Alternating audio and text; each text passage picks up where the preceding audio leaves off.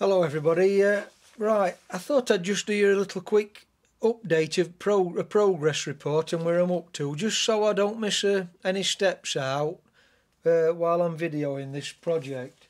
Uh, yesterday I came back from my boiler inspection uh, and everything was okay as I've explained in my last video. Uh, but I hadn't got my tubes fitted then. I didn't need them fitting for first inspection, it, it wasn't needed. But so today, I've, what I've been doing today, I've got all my tubes now fitted, and uh, I've reamed all these holes out to half inch diameter because they were tight. Uh, so my tubes just slide in nicely.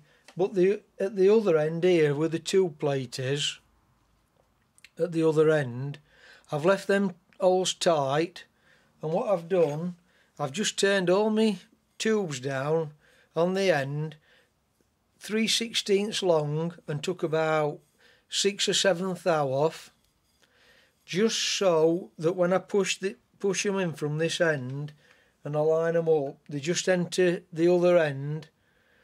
And then when I've got my boiler tipped up on its end for soldering the tubes won't drop straight through. They'll just go up to that little six or seven thou shoulder.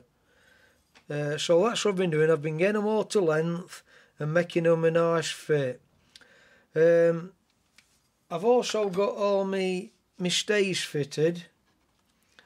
Uh, I say all. I've just got this this. I've got this one side in here, but the other side it's it's the long one that goes right through the boiler. I've not got that in because I've run out of material. I'm just waiting for a little piece to come to finish that off. Uh, what else have I done? I've got my steam uh, header pipe fitted in. I've got all my bushes ready for tapping in. I fitted all these stays round the throat plate and into the inner firebox to make sure that they all line up. So they're in. Uh, th those are my feet bushes ready for tapping in. I've got my steam valve bushes on top here just out of shot actually them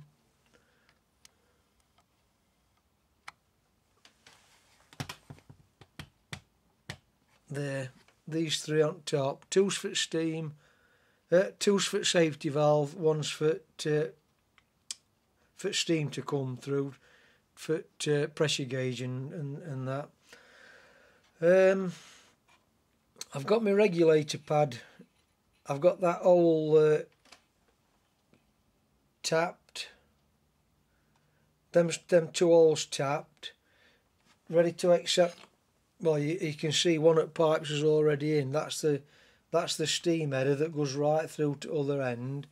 And then this one here, I've just soldered this blanking, this blank on this end. This is for the collector pipe, the steam collector, and that'll fit in this top hole inside boiler. Uh, and I've just got to put a little bend on this, a little kink to make it come up towards these bushes here to the highest point of the boiler. So I've just got that to bend next uh, and that'll come through this hole then and be fastened into there. What else have I done? I've got my closure plate bushes tried on and I've got all my stays inside going through try a trial fit. Uh, you can see all my steam tubes in there coming through with that little where I've put that little uh, six thou shoulder on. Now when I turn boiler up on its end the tubes will not drop straight through now. Well that's my plan anyway Uh, what else have I done? I think that's everything. I've got my clack valve bushes ready for tapping in. Uh, so when I get this next stay done um, and get it tried to make sure everything lines up and it fits, uh, that's on its way, that material. When I've got that done, I can strip it all down and then we can move on to the next stage, first silver soldering process which I may have shown you this already in last drawing it'll, it'll be to this stage here so my tubes will be in me in a firebox with me uh, tube plate in. Them three stays will be fitted, and then on top, my top tube plate will just be fitted loosely just to hold the tubes together while I solder all this up.